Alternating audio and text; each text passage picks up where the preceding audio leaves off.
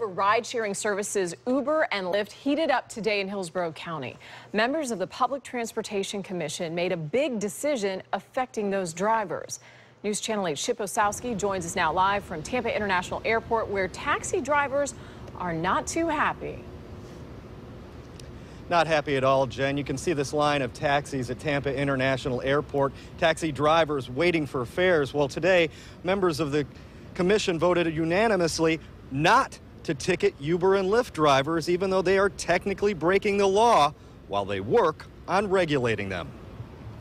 Uber and Lyft drivers packed the meeting wanting their voices to be heard.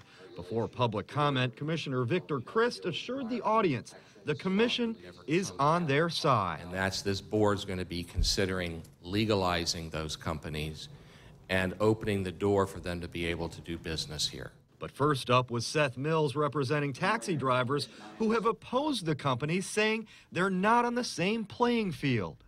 We think it is a good first step, and we welcome TNCs, and we think the board is doing the right thing to try and bring TNCs into a regulatory framework. That framework would force Uber and Lyft to provide the county with documentation that drivers have undergone background checks, have proper insurance, and their vehicles have been inspected and are safe. Some Uber and Lyft supporters in the audience are concerned about being overregulated.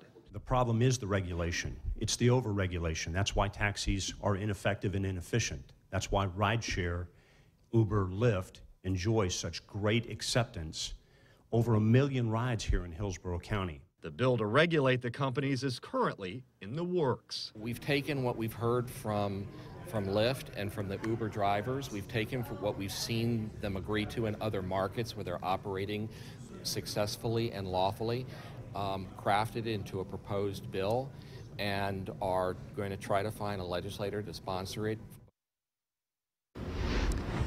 Sarasota just voted to deregulate Uber and Lyft, so why not Hillsborough County? The reason each municipality has different transportation situations and rules, so comparing the two, Hillsborough and Sarasota, is like comparing apples and oranges. Jen? Well, and Chip, the insurance issue is a big one.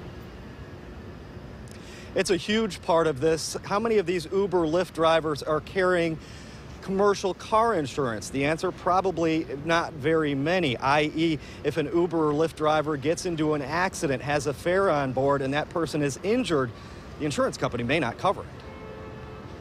All right, Chip Osowski reporting live for us tonight at TIA. Thank you. And coming up at